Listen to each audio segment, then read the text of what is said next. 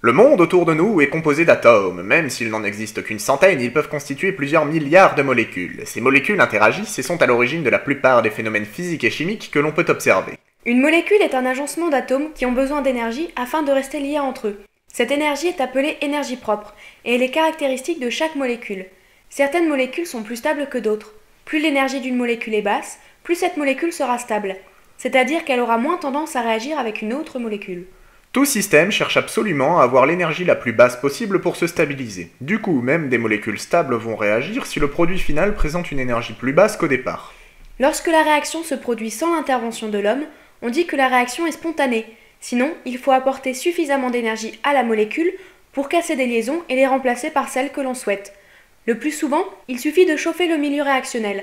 On dit qu'il faut franchir une barrière d'énergie, et cette énergie s'appelle l'énergie d'activation.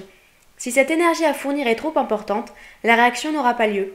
Quand on a apporté cette énergie d'activation, l'énergie est maximale. Cet état est appelé état de transition. À ce stade de la réaction, on ne peut pas l'arrêter. La molécule n'est pas isolable. Une fois que l'état de transition est atteint, de nouvelles liaisons vont pouvoir se former.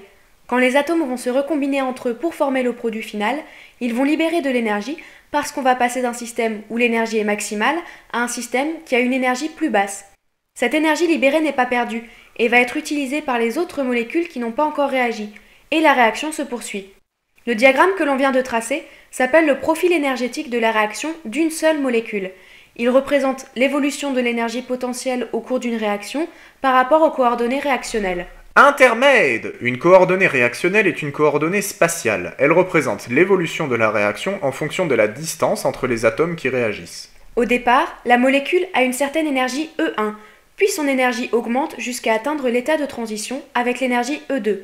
Au fur et à mesure de la réaction, son énergie diminue et atteint son niveau minimal E3. Lorsque la réaction est plus complexe, une ou plusieurs étapes intermédiaires s'ajoutent avant d'atteindre le produit final. Ces produits intermédiaires s'appellent les intermédiaires réactionnels. Contrairement aux états de transition, ils sont relativement stables et isolables, c'est-à-dire qu'il est possible de les extraire du milieu réactionnel. Mais comme leur énergie reste élevée, ils vont préférer réagir et former le produit final plus stable. Intermède Le diagramme simple s'applique à un acte élémentaire alors que le diagramme complexe en illustre plusieurs. Un acte élémentaire correspond soit à la rupture d'une liaison, soit à la création d'une liaison, soit aux deux. Ce type de diagramme s'applique pour une seule molécule. On peut tracer le même type de diagramme mais pour une mole de molécules. Quelques modifications sont alors à faire. Ces diagrammes sont surtout utiles lors de réactions où plusieurs produits sont formés. On va pouvoir différencier deux types de produits, le produit thermodynamique et le produit cinétique.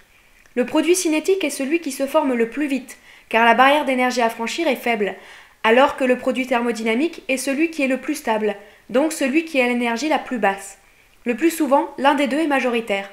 Ce sont les conditions opératoires qui vont nous permettre de déterminer le produit majoritaire. Pour le produit cinétique, on va réaliser la réaction à basse température et laisser un temps de réaction très court.